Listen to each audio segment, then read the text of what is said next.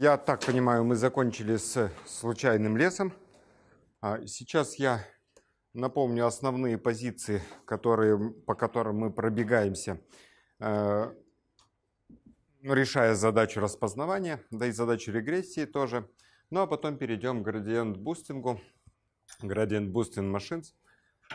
Итак, что же получается? Если у нас задача в первую очередь распознавания, чуть в меньшей степени задача регрессии, то наши шаги такие. Мы, во-первых, расщепляем э, выборку на обучающую и тестовую часть. Э, если задача более серьезная, если данных достаточно много, то мы еще э, делаем такую часть, выборку валидации. Во-вторых, мы обучаем нашу модель на тестовом множестве. На тестовом множестве. В этот момент э, вот в ходе обучения происходит подбор внутренних параметров модели. После этого мы сравниваем, да, и еще мы вычисляем критерий качества, тот, который нам нужен. После этого мы тестовую выборку прогоняем через нашу модель и смотрим снова критерий качества. Если у нас сопоставимые значения критериев качества, то мы удовлетворены, что у нас нет переобучения. Э, и, значит, вот модель такая, как она есть. Мы, может быть, может быть, мы будем не удовлетворены качеством той модели, которую мы подобрали, но более-менее вот на этом все заканчивается. Если мы еще хотим, вдобавок к этому, э, подобрать внешние параметры, ну, то есть э, число деревьев в случайном лесу, например, то нам придется где-то здесь между пунктом 2 и 3 э, обеспечить перебор различных внешних параметров э, и вместо тестового, тестового множества у нас будет множество валидации, выборка валидации. Значит, вот здесь может быть подбор внешних параметров. Типично это происходит так, что у нас, допустим, 5 внешних параметров. Мы меняем каждый из этих параметров. Э, там, первый параметр может принимать у нас, скажем, 5 значений, второй 7, э, третий 250. И если у нас всего 3 внешних параметра, то нам нужно перебрать вот столько моделей и выбрать ту из них, которая на выборке валидации показывает лучший результат. Но пункт 3 это не отменяет. После того, как мы выбрали оптимальные значения внешних параметров, мы все равно проверяем на тестовом множестве, потому что в ходе подбора этих самых внешних параметров у нас может быть а, подгонка нашей модели под вот эту самую выборку валидации.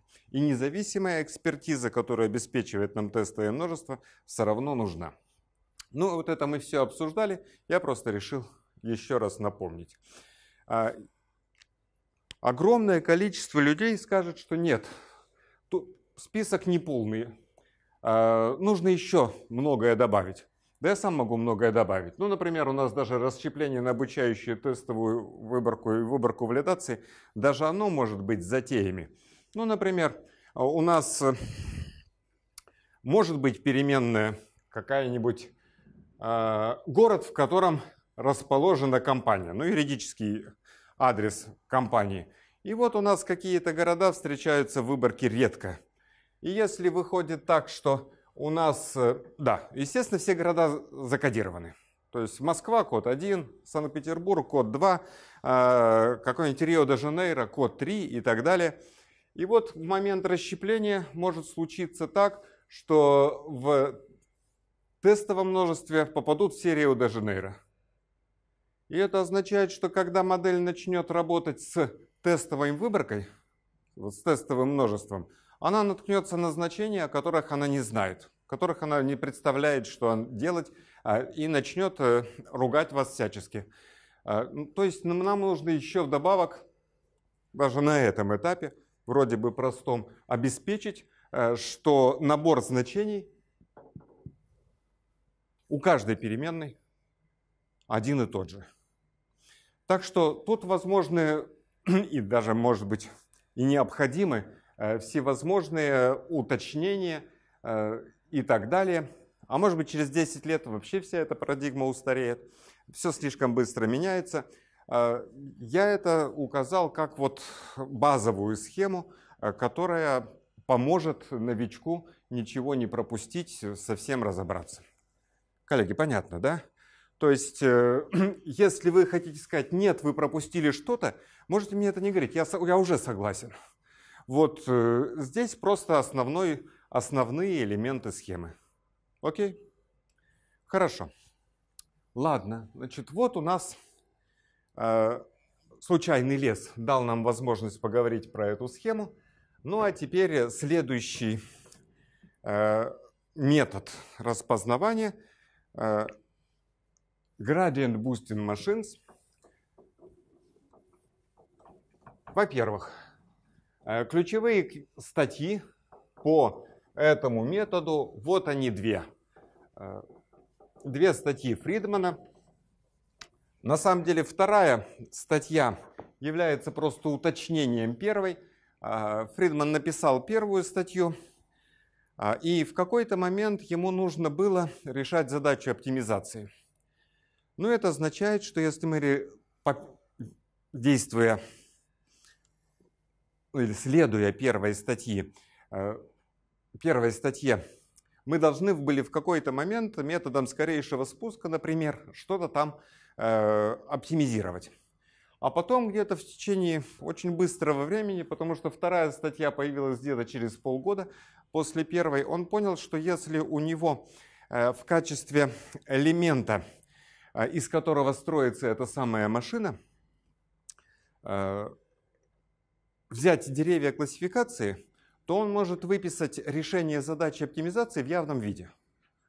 То есть ему вот эта процедура оптимизации не нужна, потому что у него уже выписано решение, повторяюсь, в явном виде. И вот получилось так, что деревья классификации дали ему два, э, две возможности ускорить алгоритм. Первое, потому что сами деревья классификации довольно быстрые, быстро обучаемый э, классификатор. А, и во-вторых, потому что там не надо оптимизировать. Ну и вот получается, что сокращение времени на обучение этой машины, э, оно просто в разы. Вот, второе. Ну вот Gradient Boosting Machine. Фридман называл это иначе.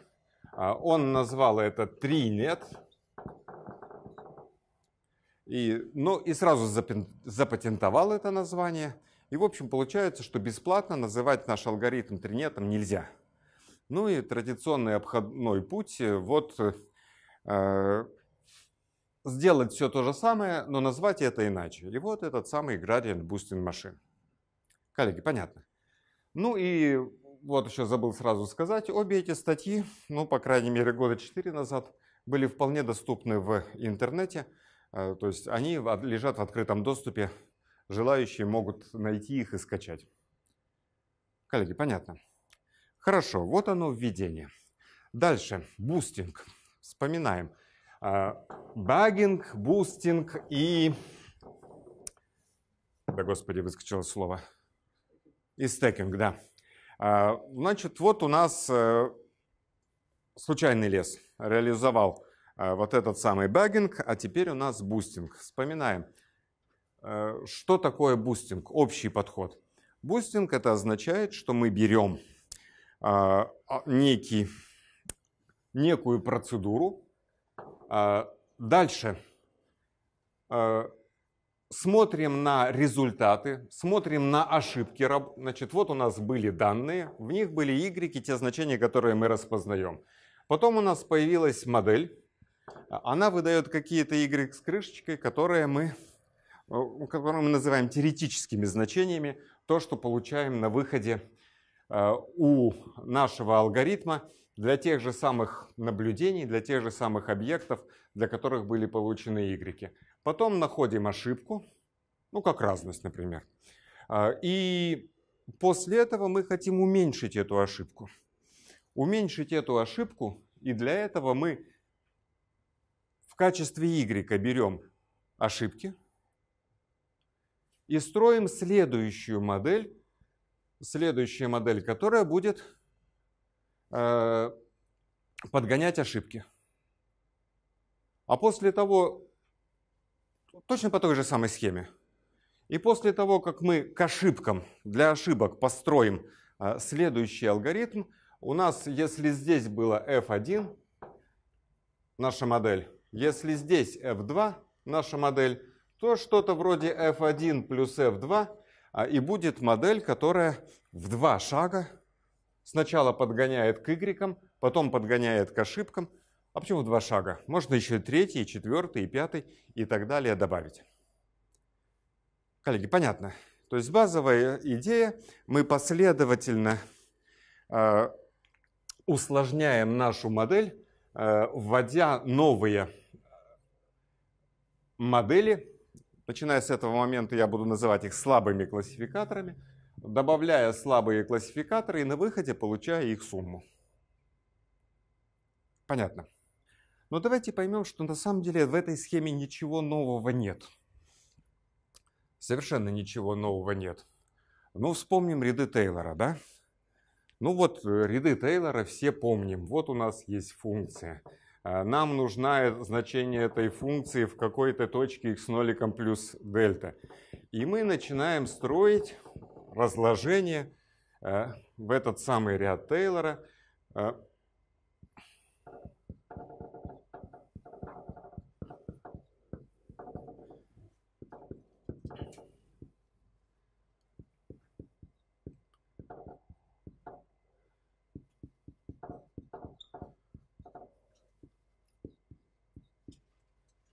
Ну, еще плюс какой-то остаточный член, и у нас есть какие-то теоремы о том, что этот остаточный член не слишком велик, мы можем его ограничить сверху. Ну, хорошо. Да, и это вообще классная вещь, потому что э, ваш смартфон, э, любой калькулятор, когда мы хотим сосчитать синус 5, он э, не бегает нигде с транспортиром и линейкой, а он просто считает достаточное количество разложений в этот самый ряд Тейлора. Ладно, а теперь давайте посмотрим на тот же самый ряд немножко с другой точки зрения. Мы можем сказать так, вот у нас была функция. Раз. Мы начинаем ее э, приближать. И каждый, каждое следующее приближение должно уменьшать ошибку. То есть сначала мы будем приближать э, ну, значением в какой-то близкой точке, в точке x ноликом. В Gradient Boosting Machines э, в качестве f от x нолика мы будем брать среднее арифметическое всех y по столбцу. Как первое приближение. Хорошо. Потом мы начинаем,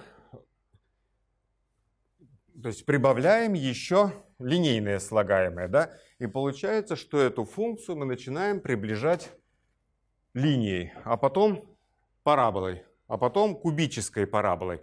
И так увеличиваем степень многочлена. А можно еще третий взгляд, третьим способом сказать то же самое. Мы можем сказать, что когда вот мы приблизили просто э, константой, то можно сказать, что следующее слагаемое, оно подгоняется так, чтобы вот остатки этой модели наилучшим образом приблизить. То есть вот у нас было сначала одно слагаемое, f1. Потом для разности мы второе слагаемое. Э, потом для вот такой вот разности подбираем параболу и так далее. То есть получается, что э, вот эти самые ряды Тейлора можно точно так же описывать. И с этой точки зрения, э, с этой точки зрения, то, что предлагает бустинг, не есть что-то новое, В бустинге нас шокирует скорее то, что мы решаем сложную задачу классификации с помощью комбинации плохих классификаторов, и это получается хорошо. То есть вот способность из плохих материалов сделать хорошую вещь, э, вот э, это для нас совершенно-совершенно непривычно. Коллеги, понятно? Хорошо. Но теперь давайте третий раз расскажу одно и то же, то же самое. Значит, что же получается?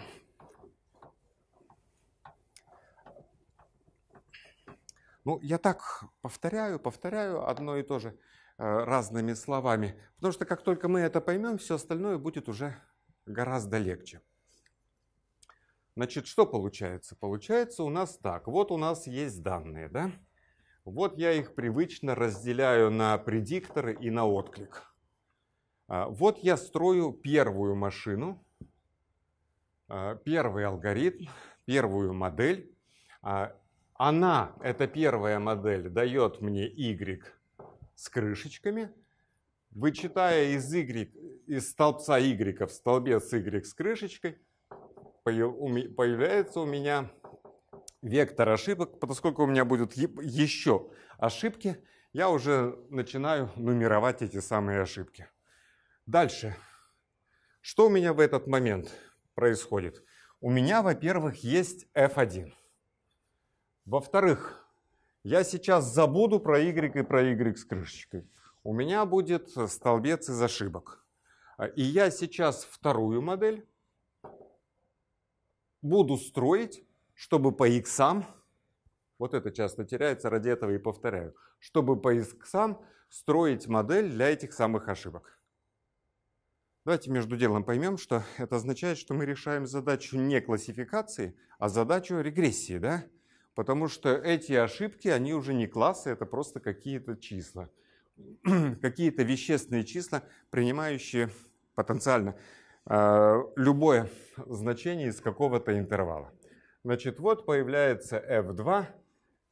Значит, у меня появятся какие-то теоретические значения на выходе модели f2, которые, как я надеюсь, приближают e1.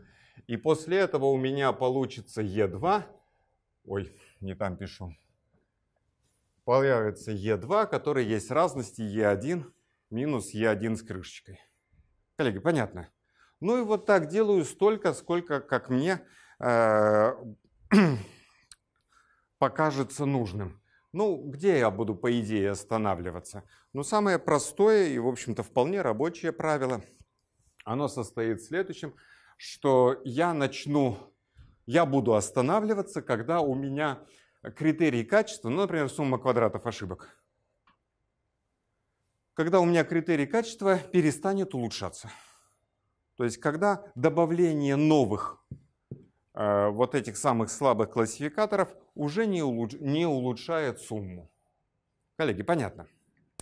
Значит, вот, вот у нас такая схема. Хорошо. Теперь давайте Э, посмотрим на описание этого всего. Вот человек, который в, в, в R э, писал, опять туда же, в R писал библиотеку ГБМ. Вот он э, заимствует у Фридмана. В Википедии ровно то же самое, если вы откроете. Э, вот описание тех шагов, которые, которые я только что здесь вам приводил три раза подряд, говоря это разными словами. Значит, появляется какая-то функция потери пси, э, появляется какая-то регрессионная функция f с крышечкой от x, э, и вот у нас какой-то мы ищем такую функцию, которая минимизировала бы критерии качества а, после использования этой функции f с крышечкой от x. И вот у нас в этом алгоритме, сейчас постараюсь сделать покрупнее, да, в этом алгоритме на свет появляются какие-то z, которые являются результатом дифференцирования функции потерь по функции, ну, если у нас дерево классификации, то поэтому по дереву классификации, то есть функцию потерь дифференцируем по э, дерев, дереву классификации, потом строим модель для результата дифференцирования, после чего еще у нас э, метод скорейшего спуска, ну и после чего у нас, у меня что там было, f1 плюс f2 плюс f3, а здесь э, появляется еще некий коэффициент ρ. Давайте разбираться, давайте убедимся, что то, что тут написано, а, и, и то, что я до сих пор рассказывал, это одно и то же. Оно одно и то же, но только в одном случае. Если у нас критерий качества, если у нас функция потерь, это сумма квадратов ошибок. Вот давайте убедимся, что если мы возьмем в качестве пси сумму квадратов ошибок, то то, что здесь написано, и то, что я до сих пор рассказывал, за исключением пункта 2, а, суть одно и то же. Ну давайте, значит, э, что у нас? Сумма квадратов ошибок. А, вот она. Ну, запишу чуть иначе. Это что у нас? y итая минус y итая с крышечкой, да? Еще раз то же самое. Значит, это то же самое, что y итая э, минус f от x итая. Так? Ну, что y получены на выходе некой модели. Ага. Да, и только я еще между делом квадраты забыл. Значит, вот у нас, да? Хорошо. Теперь, значит, нужно это все продифференцировать по f от x и t, да? Хорошо. Да, а x и t это что такое у нас? Откуда тут взялись x и t? Ну, это все соответствует какой-то строчке. А сумма? А сумма по всем объектам в обучающем множестве, да? То есть мы суммируем ошибки для каждого объекта из нашего обучающего множества. Ну ладно. А, многим студентам некомфортно дифференцировать по функции. Ну, давайте поймем, что мы можем в качестве, вместо f от x и написать, скажем, a и t и дифференцировать по этому самому a и -тому. Хорошо. Ну и что получается? Ну, в результате дифференцирования у нас получится минус y и t минус f от x и t. И еще двоечка. Коллеги, согласны, да? Ну, потому что дифференцирую под f от x и t, и это означает, что из этой суммы f от x и t присутствует только в одном слагаемом. Все остальные от f от t не зависят. Э, после при дифференцировании они дают 0. И то единственное слагаемое, которое содержало f от t, будет вот так. Ну и давайте поймем, что с точностью до коэффициента вот этого двоечка – там у нас еще минус, да, в формуле 1. Там еще минус формула 1. Но это и будет ошибка, да? То есть вот получается, что если у нас вот такой критерий качества, то у нас, мы действительно следующую модель будем строить так, чтобы подгонять вот эти самые z-иты. Смотрим пункт 2.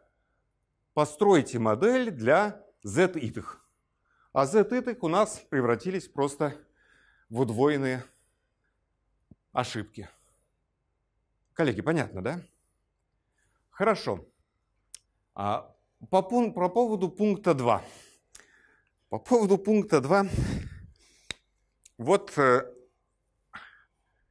подозреваю, что пункт 2, это мое личное мнение. Могу ошибаться – Подозреваю, что пункт 2, э, именно, в первую очередь именно он привел к тому, что э, ГБМ так быстро уступил к Жебусту вот позицию как бы лидирующего инструмента.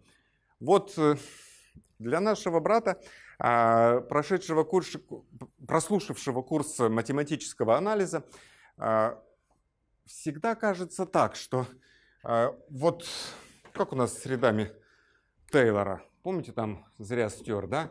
f с ноликом плюс дельта равняется, и так пропускаю начало и записываю последнее слагаемое.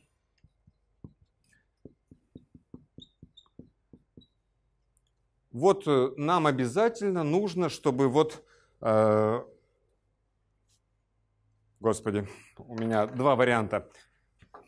Так, тоже неплохо, но у меня слева-то x ноликом плюс дельта.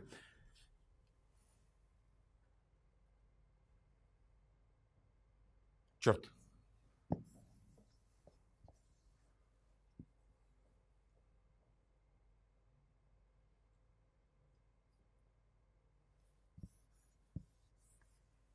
Смотрите, у меня что-то холодный пот прошиб.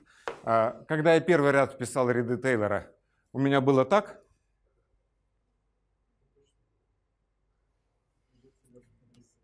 А, а здесь было просто x нолик, да? Левая часть была такой же, как сейчас. Ага, это у меня гибрид. Просто можно писать так, э, а можно писать вот так, где x это x ноликом плюс дельта. И вот у меня получилось, что в левой части я пишу э, одним способом, а в правой части пишу другим способом. А, ну, ошибся, сейчас разобрались, да? Прошу прощения. Хорошо.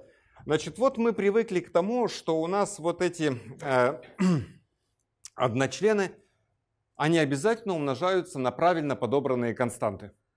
Ну или там ряды Фурье. Тоже у нас синусы, косинусы, и они обязательно умножаются на какие-то правильно подобранные константы. Ну в данном случае вот на такие. Так? Так, и вот э, этот стереотип, как я понимаю, классику помешал. Нет, он построил годный метод, э, но только, э, это уже будет в следующем семестре, XGBoost, прекрасно обходится без этих ро. Так вот, после того, как он построил этот f с крышечкой, он хочет еще одну дооптимизировать. То есть вот я рассказывал, а, вот f1, потом f2, да, потом будет f3, и я буду подгонять, подгонять, подгонять к остаткам, к остаткам, к очередному остатку. Э, но вот э, написать честно и просто, что у нас в результате применении нескольких моделей у нас получается вот так. Э, вот как-то рука не поднимается. Вот как-то рука не поднимается. Я когда с их бустом разбирался первый раз, я сидел, думал, где коэффициенты? Где ро1, где ро2, где ро3? Как можно без них? Ну, как мы выясним в следующем семестре, прекрасно можно без них, и без них, наверное, даже правильнее. Ну вот а здесь вот Фридман решил, что после того, как мы нашли эту функцию, э, просто банально прибавить будет неправильно, нужно еще туда засунуть это самое ро. И вот он берет критерий качества, он берет этот критерий качества, э, вот у него он доскладывал, сколько там ему потребовалось раз – и вот он хочет добавить еще один. Так, там мне сказали, нельзя писать, да? Значит, вот здесь. Плюс ро k плюс 1 умножить на f k плюс 1. И вот к тому, что он получил на предыдущих этапах, он хочет добавить еще одно слагаемое.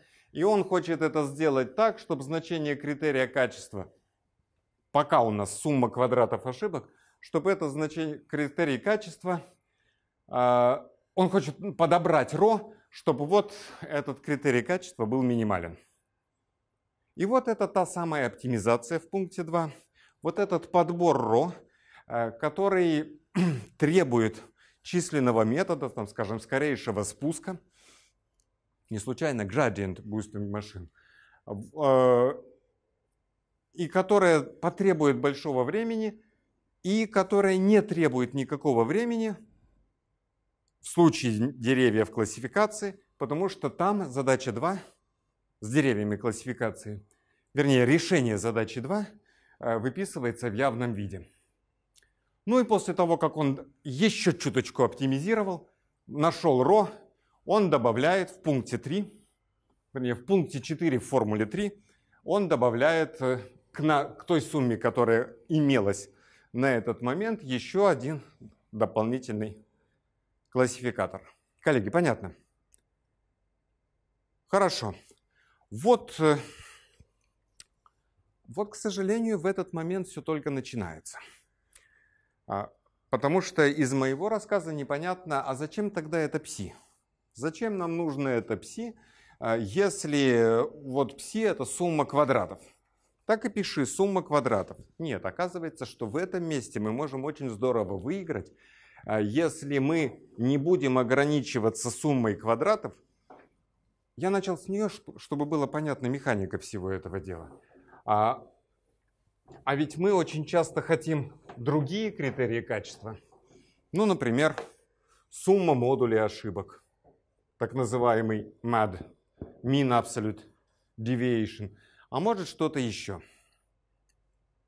И вот теперь давайте поговорим про то, откуда берутся пси а, и Э, какой подход на сегодняшний день доминирует вот при э, нахождении или там при определении этих самых пси. Этот подход вам рассказывали либо здесь, либо там, где вы учились, э, в курсе математическая статистика. Этот подход называется метод максимального правдоподобия. Ну, вспоминаем. Значит, вот э, Немножко про метод максимального правдоподобия. Или не стоит, или понятно. А? Один голос. Еще два голоса будет? Два. Ну хорошо. Значит, вспоминаю, что такое метод максимального правдоподобия. Вот у нас случайная величина x. Вот у нас наблюдение этой случайной величины x1, xn. Вот нам известно распределение случайной величины x. Вот здесь оставлю место. Это распределение нам известно с точностью до некоторых важных параметров. И наша задача по данным найти значение этих параметров. Как это возникает? Ну давайте смотреть. Значит, э, вот э, что проще. Подбрасываем монетку. А, в учебнике по теории вероятности все просто. А, берем симметричную монетку и начинаем ее подбрасывать. А если мы не знаем, что она симметричная, тогда вероятность выпадения герба, или чуть в более общем случае, вероятность успеха неизвестная величина. И нам нужно по результатам наблюдения оценить это значение p. И получается, что в этом случае нам распределение известно с точностью до значения вот этого параметра. А, другой пример – число успехов в n-испытаниях. Вот такая случайная величина. Там снова вероятность успеха может быть наперед э, неизвестна. Третье. Мы знаем, что распределение нормальное, но Э, не знаем математическое ожидание и дисперсию в этом случае. И вот снова нам по данным нужно подобрать значение математического ожидания и дисперсии. Вот такая задачка. А, прекрасный подход для решения. Подходов много. Метод моментов, метод подстановки. А, но больше всего нам нравится метод максимального правдоподобия чем состоит метод максимального правдоподобия? Ну вот давайте, пусть у нас будет дискретная случайная величина, то есть она принимает какое-то конечное число значений. В случае монетки два значения 0 и единица. В случае там, успехов в n-испытаниях любое число от 0 до n. И вот э, мы записываем, а с какой вероятностью произошло то, что произошло.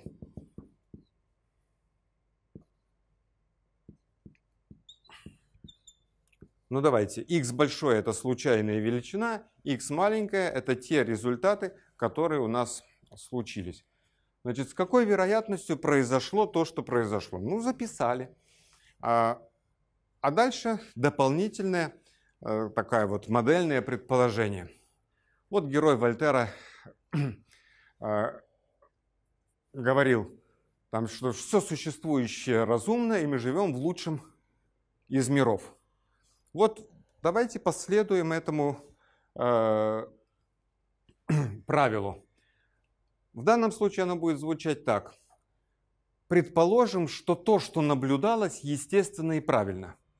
Предположим, что то, что произошло, э, то есть произошло наиболее вероятное событие. То есть, э, если монетка абсолютно симметрична, то значит при миллионе подбрасываний там будет пополам э, гербов и решек.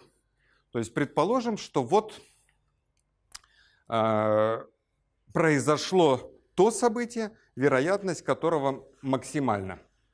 Но смотрите, это же вероятность, она зависит от параметров. От вероятности успеха в случае э, подбрасывания монетки, э, от математического ожидания и дисперсии в случае нормального распределения. И получается, что мы можем взять эту вероятность, она должна быть максимальная в соответствии с этим принципом, с методом максимального правдоподобия. А, эта вероятность x, результат экспериментов, они известны, там ничего э, нет. Но тут при вычислении у нас появятся а, вот эти самые неизвестные параметры, и получается, что эта вероятность, эта функция от параметров, осталось найти те значения параметров, при которых эта функция будет максимальна. То есть правильные параметры, наши оценки параметров, это то, это, это те знач... они принимают те значения, которые доставляют максимум этой вероятности. Вот, хорошо. Ну, к сожалению, вот такую вероятность мы можем, не можем написать, если у нас, например, нормальное распределение. Потому что в случае нормального распределения, какова вероятность того, что x а, равняется 3? Неважно, какие параметры. Вероятность этого 0, да. Вот и такая вероятность не записывается. Но мы вслед за классиками выйдем из положения. Вместо того, чтобы записать эту вероятность, а, мы будем записывать плотность совместного распределения. Совместного распределения чего? Ну вот у меня а, n случайных величин, а, и я ее сосчитаю в точке вот такой. Хорошо. Ну ладно. А, получается состоятельные оценки при некоторых предположениях, асимптотически несмещенные, асимптотически нормальные. В общем, очень неплохие оценки получаются. Причем тут gradient boosting машин. А вот давайте посмотрим. Вот, например, а, в случае нормального распределения. Как у нас будет все происходить в случае нормального распределения? Значит, пусть у нас будут независимые наблюдения – тогда вот эта функция будет произведение, эта плотность будет произведение плотностей для независимых, это так, для независимых наблюдений. И вот у нас появляется на свет э, плотность нормального распределения с, какой, с каким-то математическим ожиданием а и дисперсия сигма в квадрате, сосчитанная в точках x. Ну ладно. Да, и мы будем что делать? Мы будем искать параметры, при которых максимально. Значит, как это будет? Это будет едини... Вспоминаю формулу для плотности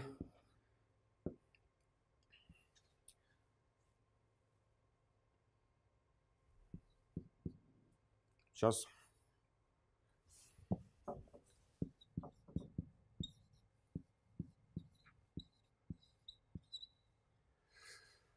Вот произведение таких вот плотностей.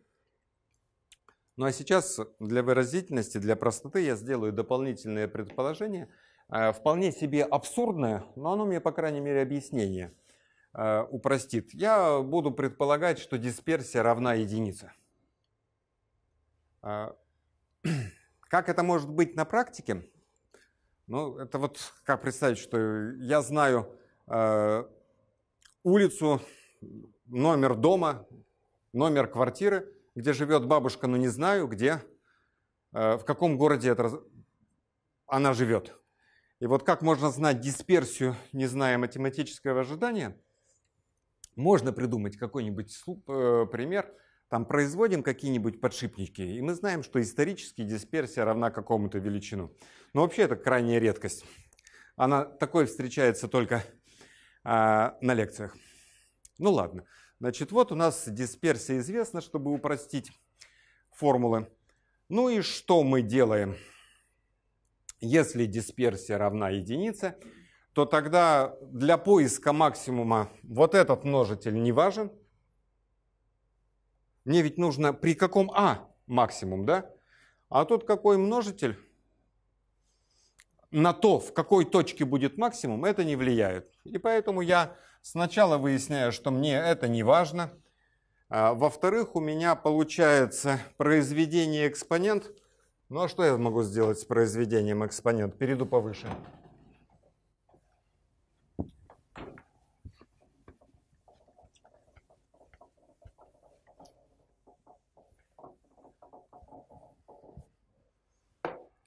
А, у меня все это превратится в э, экспоненту от e, нет, просто экспоненту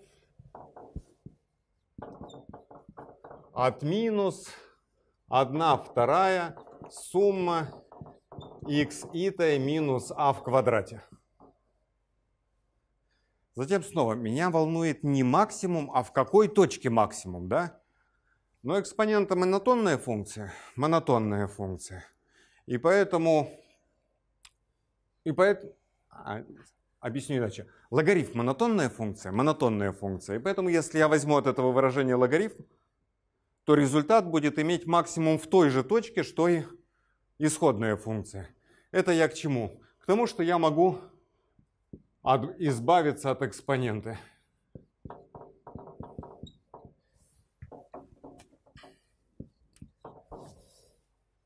И сумма у меня по всем наблюдениям. И в этот момент э, давайте поймем, что это чертовски похоже на то, с чего я начинал. Помните, сумма квадратов ошибок. То есть я там минимизировал сумму квадратов ошибок, а теперь я максимизирую вот это, да? Ну а что максимизирую? Если я минус уберу, то снова буду минимизировать. Значит, что получается? Э, пользуясь методом максимального правдоподобия, я прихожу к тому, что мне нужно э, минимизировать сумму квадратов ошибок. То есть получается такое, что у меня есть общая схема, в которой, применяя которую, для случая нормальных распределений я могу прийти к сумме квадратов ошибок. А если я возьму ненормальное распределение, а другое, то я могу прийти к сумме модулей ошибок. И вообще такое ощущение, что если у меня есть разумные критерии качества – то я могу придумать такую э, плотность распределения или в случае дискретной случайной величины распределения вероятности, что максимизируя вот эту самую, это самое правдоподобие, эту самую вероятность, я приду к этому критерию качества. Ну и тогда, наконец, э, целый подход. Значит, э, записываю. Да, кстати, забыл сказать ведь, да, а, что вот эта вероятность или эта плотность, мы это называем функцией правдоподобия, да? Если бы я сразу взял логарифм, то это было бы лог правдоподобия. И получается так, что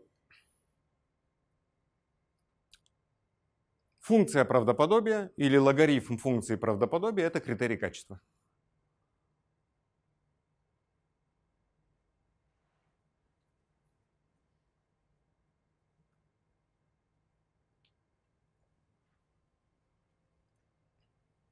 Коллеги, понятно?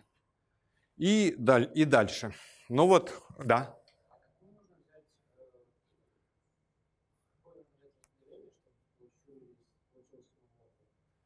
Слушайте, я сейчас точно не помню, но, по-моему, а,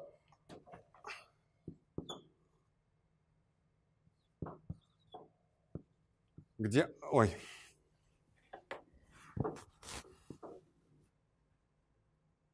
По-моему, вот так. Где ам, мотожидание или что-то в этом роде. Не, не, она называется. А, вот, вот прямо, прямо сейчас, э, э, боюсь ерунду сказать, э, когда-то я это даже в лекциях рассказывал, вот, но сейчас э, забыл. Ну ладно, а, тогда давайте уже эту идею будем применять к, будем применять к нашим задачам. Вот, например, такая задачка. А вот у нас наши данные а, о принадлежности к двум классам. Например, мальчики и девочки. Два класса. Или кликнет на рекламу в мобильном приложении или не кликнет. Какая функция правдоподобия будет подходить для данной ситуации? В общем, мы можем зажмуриться, мы сплошь и рядом это делаем, а, и снова взять нормальное распределение. Но мы, может, может быть, мы можем придумать что-нибудь получше. То есть вот наш критерий качества, он будет генерироваться каким распределением? Ну, ответ тут такой, биномиальным распределением. То есть вот у нас два класса, а, извиняюсь, не биномиальным, распределением Бернулли. Распределением Бернулли. Вот у нас два класса. P э, – вероятность принадлежать первому классу, успех. Э, единица минус P – вероятность принадлежать второму классу, неудача. И, и после этого у нас появляется функция правдоподобия. А, кстати, как она будет выглядеть в данном случае?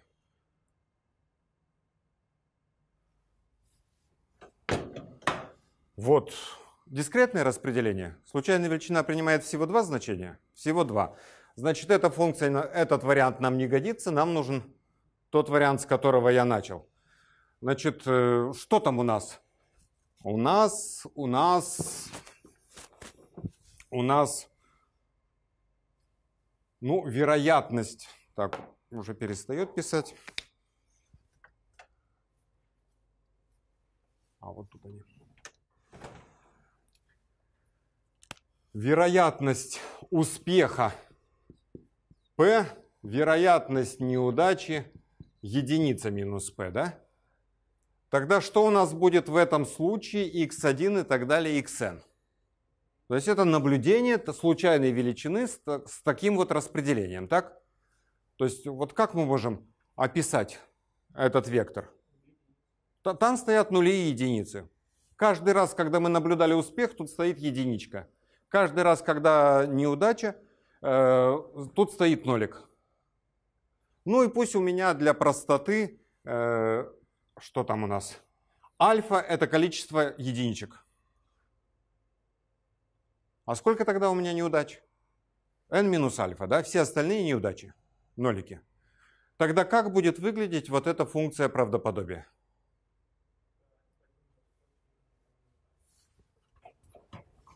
P в степени альфа единица минус p в степени n минус альфа.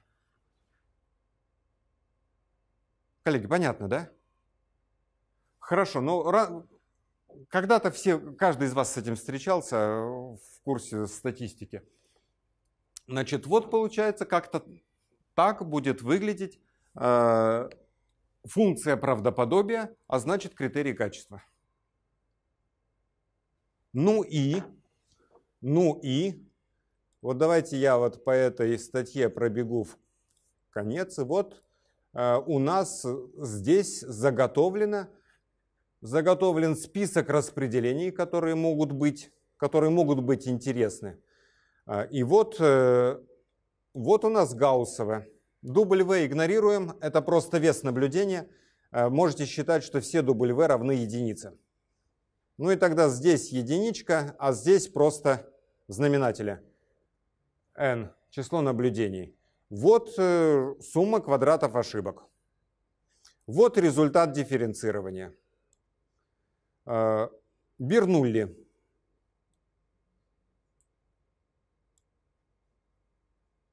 Бернулли. Ой, какой монстрик, да?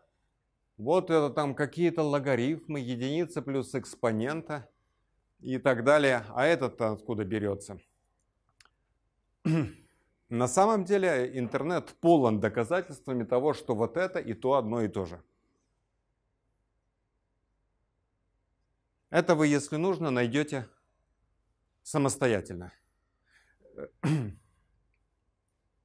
А, значит, вот у нас распределение Бернулли. А, во, во, во. А, распределение Лапласа.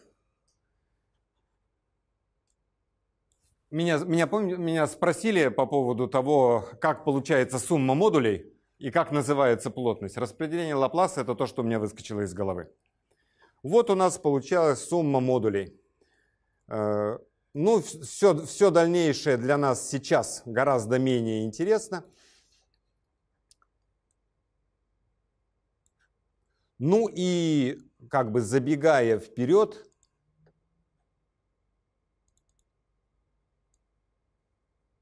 снова не судите строго, ладно? Ой, совсем мелко, да? Как же это увеличить-то?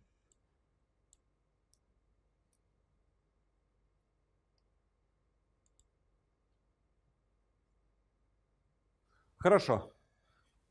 Буду зачитывать, раз так мелко. Значит, рекомендации вообще говорят такие, для начинающих. То есть вы перестали быть начинающими, когда вы начали осознанно выбирать э, критерии качества. Распределение Гаусса, ее функция правдоподобия универсальна, можно применять для любых задач. Э, Лапласа универсально. Э, Дальше, если у нас два класса, то э, биномиальное распределение. Если у вас не два класса, а больше, скажем 3, 4, 7, то рекомендуется мультиномиальное распределение. Хорошо. Ну и теперь возвращаемся, собственно, к возвращаемся, собственно, к алгоритму. Значит, что получается? Получается, что этот алгоритм универсален в том плане, что вы можете э, прикинуть, какое будет... О, прерву себя. Э, а если у нас э, наблюдение – это э, количество раз, когда произошло событие. Ну, например, Э, количество происшествий на каком-то участке дороги, э, то в этом случае какое распределение лучше всего брать?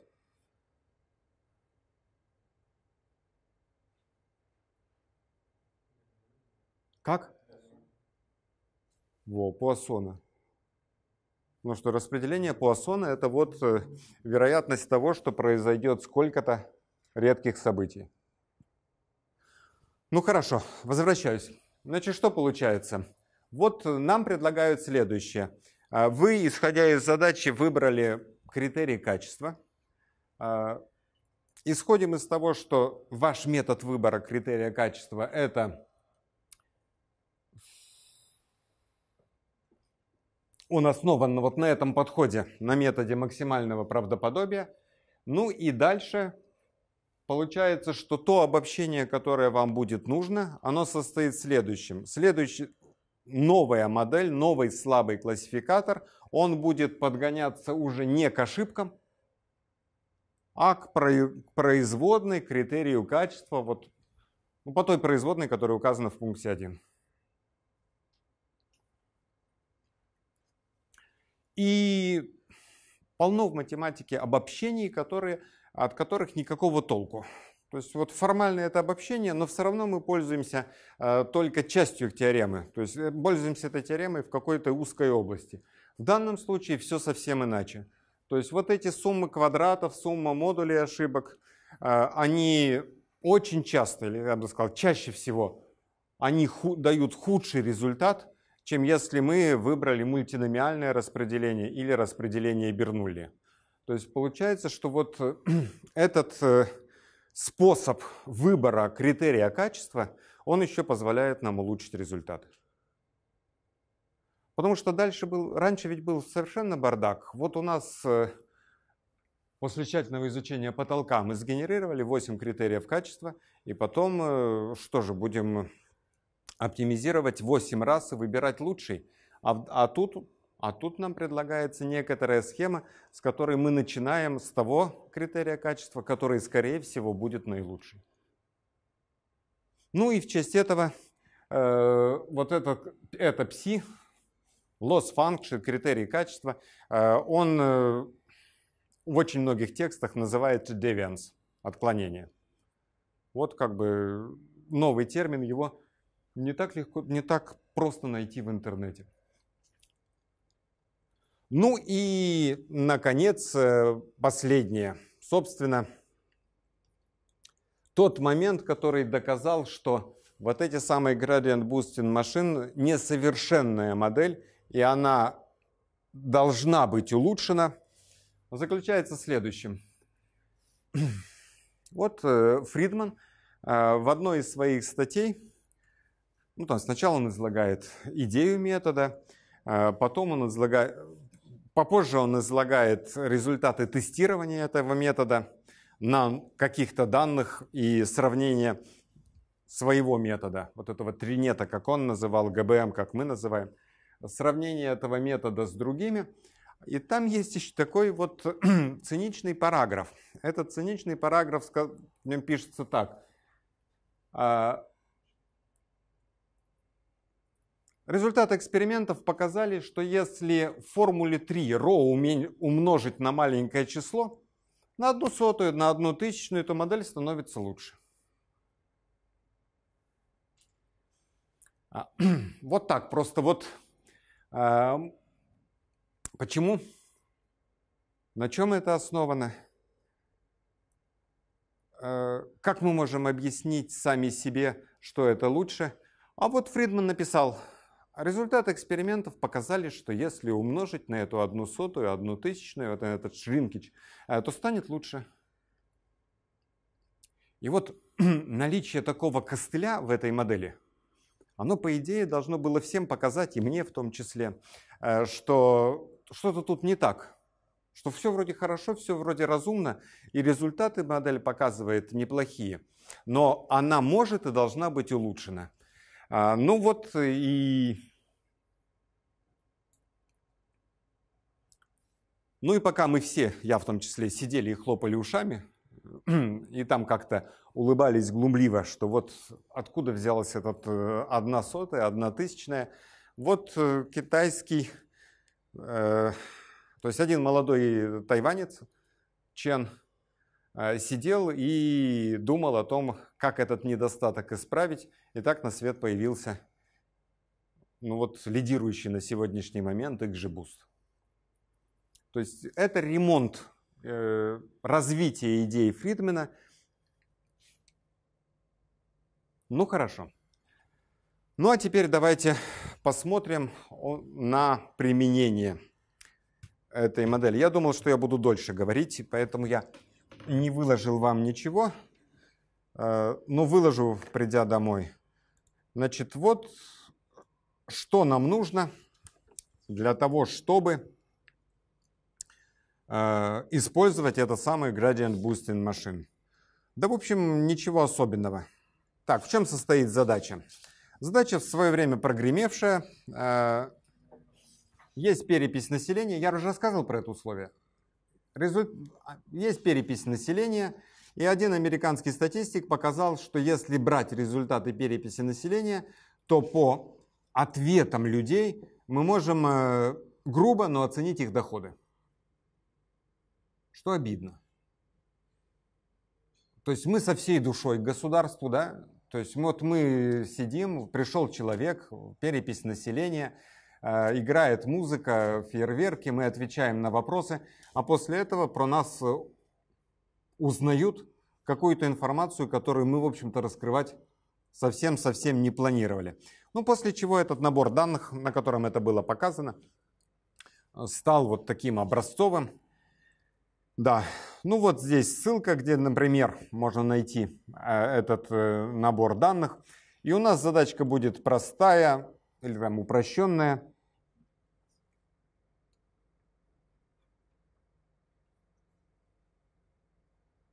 Мы будем разгадывать, э, превышает годовой доход этого американца 50 тысяч или не превышает. А тут я понял, что я кое-что не договорил. Давайте вот...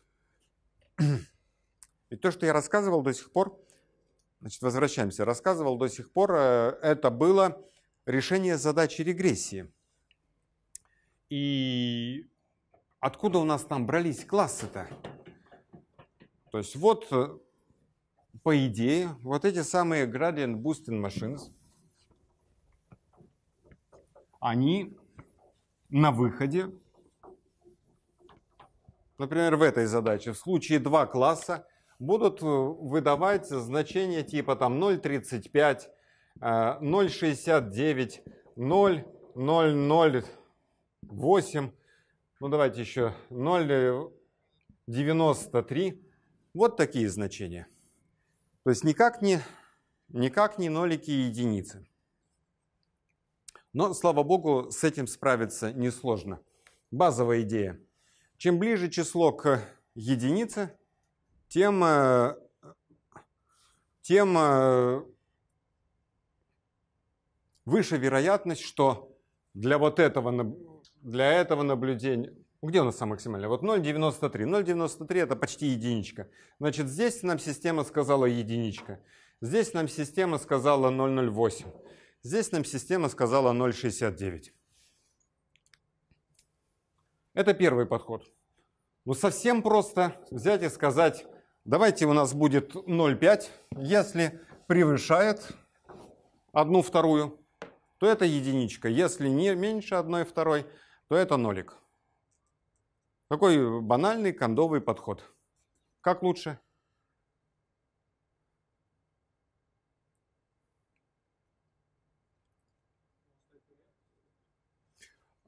Нет, но это вопрос интерпретации. Мы можем интерпретировать это как вероятность быть единичкой. А, ну вот, э, рекомендую. Мне этот метод несколько раз помогал, и не только мне, э, разрешить системе сказать «не знаю». Разрешить системе сказать не знаю. Например, ввести вместо одного порогового значения 2. Например, э, если больше, чем 0,8, то единица. Если меньше, чем 0,2, то нолик. Во всех остальных случаях говорить не знаю.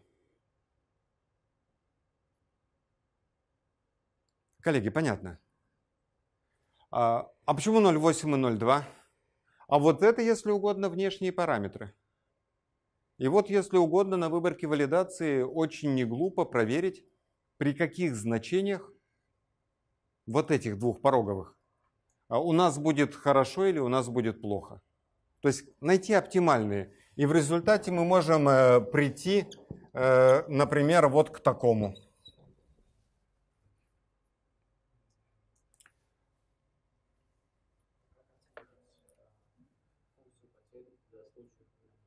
А функция потери у нас ни при чем. Это мы говорим о тех значениях, которые выдает модель. Ну, то есть вот наша ГБМ, наша машина. Вот мы ее применяем, скажем, на тестовой выборке. Вот на тестовой выборке она сказала 0,69.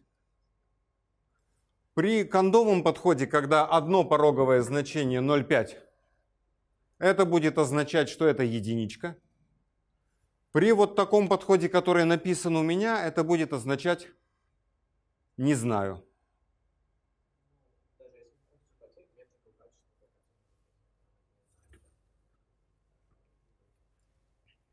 Ну, я в этом курсе последовательно продвигаю accuracy как критерий качества. Ну вот э, в какой-то момент э, э, вот на меня руководство давило, нужно было распознавать пол пользователя, пол, пол куки, ну вот пользователя в интернете. А, и вот конкуренты выкатывали, выкатывали решения одно за другим. Яндекс выкатил решение 80% э, правильных ответов. Mail.ru выкатил решение 80%. А, еще один, одно агентство от Fox, по-моему, тоже выкатило 80%. А у нас там 0,78. Я говорю, так 0,78, это же почти 80. Мне говорили, нет.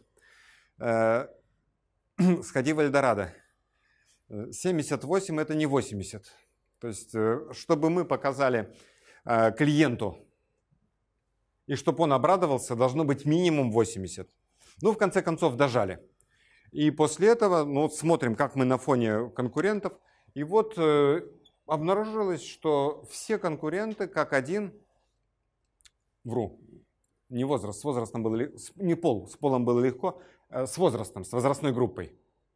Э, у всех конкурентов 80-80. То есть для 80% аудитории распознается возраст, вероят... возрастная группа с вероятностью 0,8. То есть э, мы пришли к тому, что мы будем не для всех давать ответ а сами, но потом, э, а потом убедились, что все к этому пришли. Да какая тут метрика качества? Вот, вот, вот accuracy одновременно. Если угодно. Если угодно. Хотя у меня был подход гораздо более приземленный. Строим модель, потом подбираем эти параметры. Ну вот, э, пороговые значения.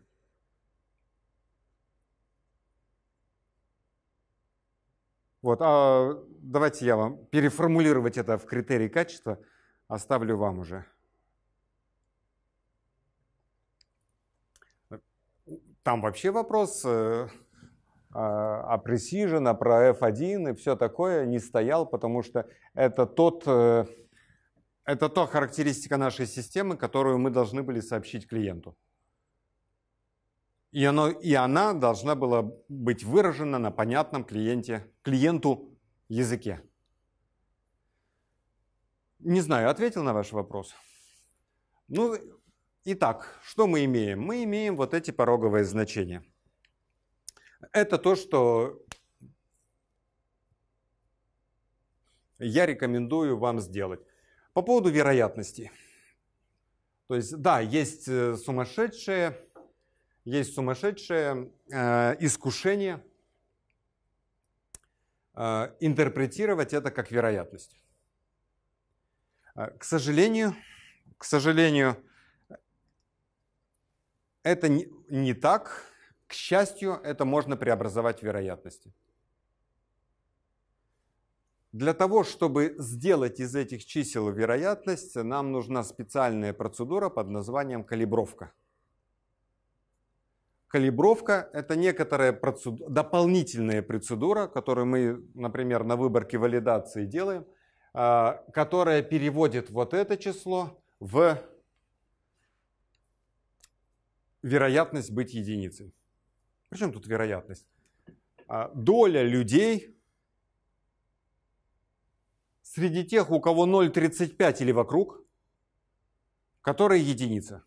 То есть вот если после калибровки получили 0,36, то это означает, что вот у людей, которых значи, модельное значение, вот y с крышечкой 0,36, ну или там где-то немножко вокруг, а там среди них доля единиц 0,36. Вот в этом смысле это вероятность. Коллеги, понятно? Итак, базовая вещь. То, что получится на выходе, не обязательно вероятность. Но ее можно преобразовать с помощью процедуры калибровки в эту самую вероятность. Ну что такое вероятность? Вероятность это э, обобщ... как бы математическая модель для частоты, да?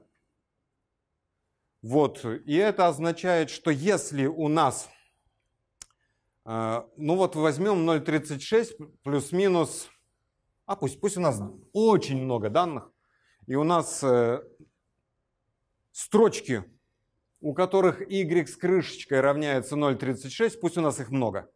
Так много данных, что даже таких вот строчек много. Э, и тогда что нужно, чтобы это была вероятность быть единицей? Нужно, среди, чтобы среди этих объектов, среди этих строчек у 36% y чтобы равнялся единице.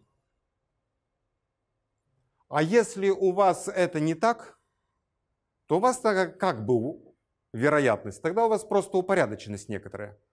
То есть вот 0,69 э, он в большей степени единица, чем 0,35. Э, а уж что значит в большей степени? Чего там больше? Э, это гадать и гадать. А вот когда вы калибровали, вы уже можете более четко, не знаю, вот интерпретировать полученное число. Ответил на ваш вопрос? Так.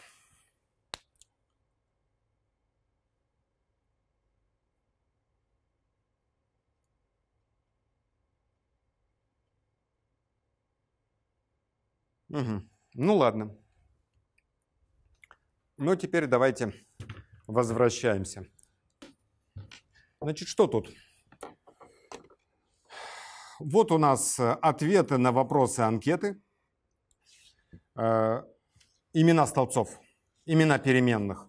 Э, вот прочитали данных, э, вот убрали дублирующие, поло... дублирующие колонки.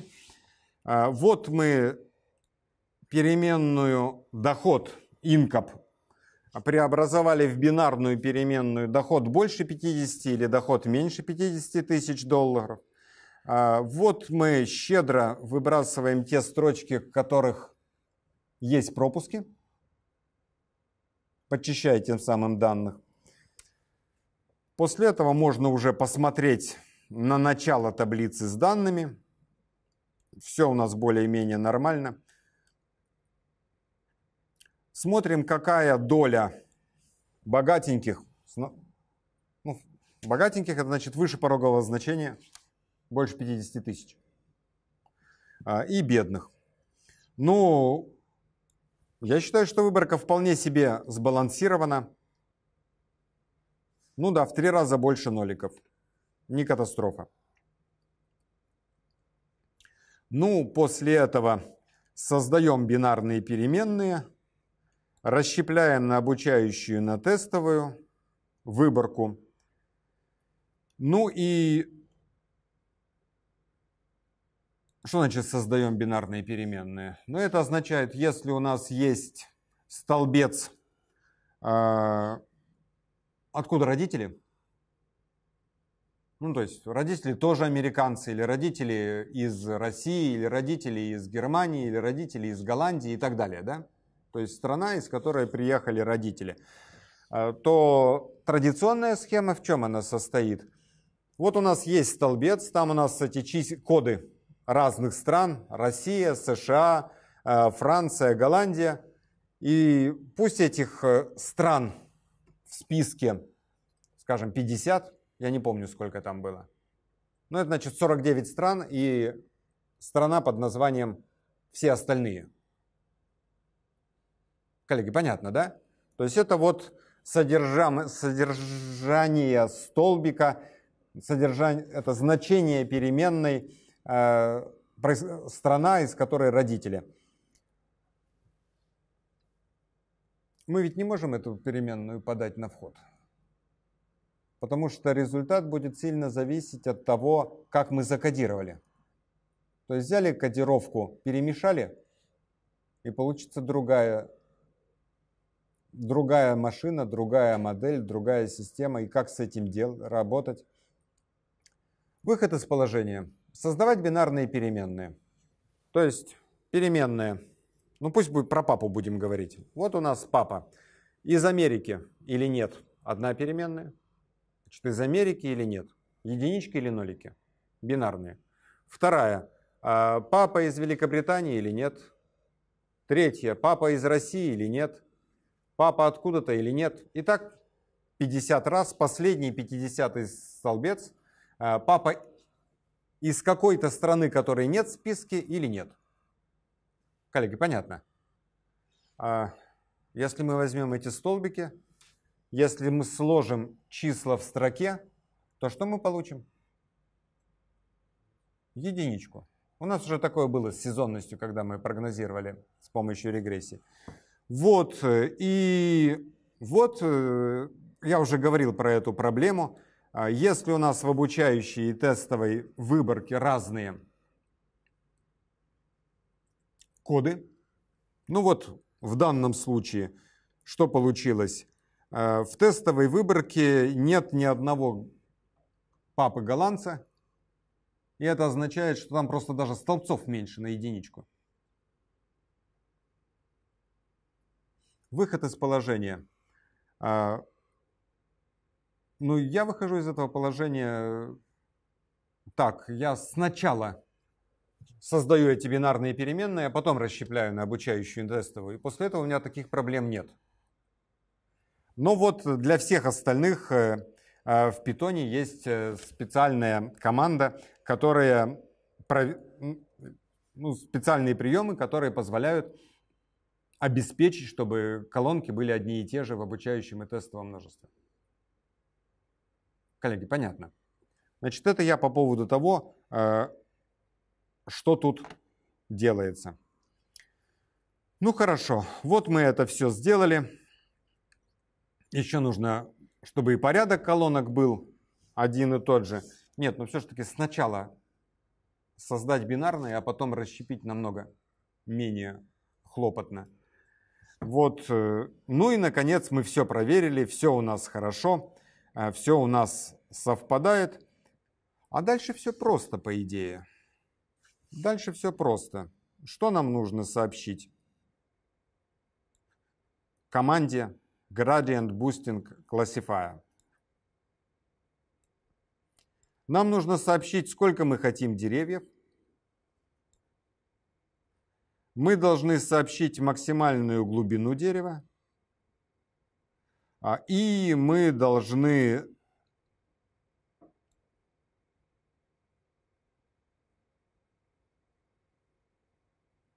и должны, и должны сообщить что-то я засомневался.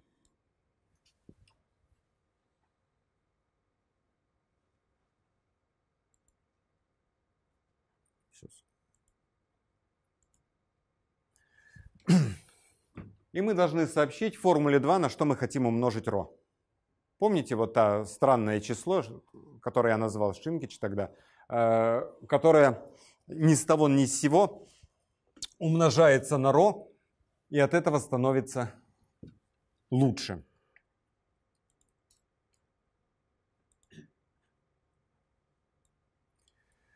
По поводу